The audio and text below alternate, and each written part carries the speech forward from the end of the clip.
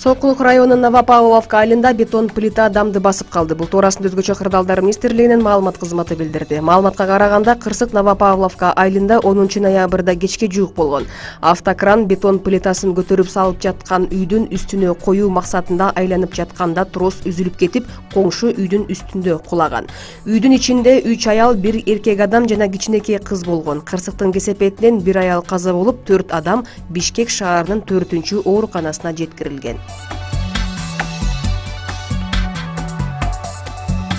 Бишкекте россиянын жараны тогузунчу кабаттан кулап каза болду. Маалыматка караганда окуя кечээ түнү орун алган. Токсонунчу жылы туулган россиянын жараны байчечекей дүкөнүнүн жанындагы көп кабаттуу үйдөн кулап кеткен. Маркумдун денеси милиция кызматкерлерине өткөрүлүп берилген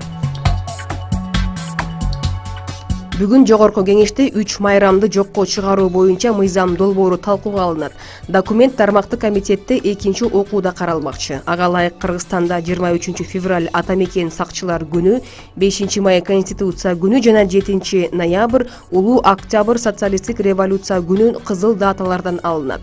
Демелгени депутат дастан бекашев көтөрүп чыккан. Анын пикиринде аталган майрамдар өзүнүн актуалдуулугун жоготту белгилей кетсек алмазбек атамбаев жетинчи сегизинчи ноябрь ноябрда тарых жана ата бабаларды эскерүү күндөрү катары эс алуу күнү деп жарыялоону сунуштап жатат.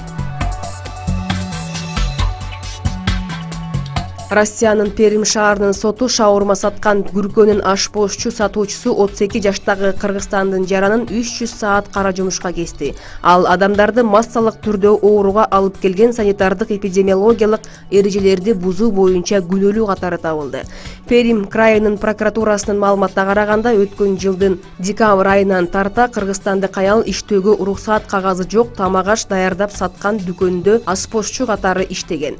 Бул жайдагы идиш аяктын таза жуулбагандыгынын санитардык нормалардын бузулушунун натыйжасында ушул жылдын июнь айында кардарлар сальминолез жуктуруп алышкан. Сот кыргызстандыкты үч жүз саат кара жумушка кесип жабырлануучулардын пайдасына андан моралдык компенсация өндүргөн.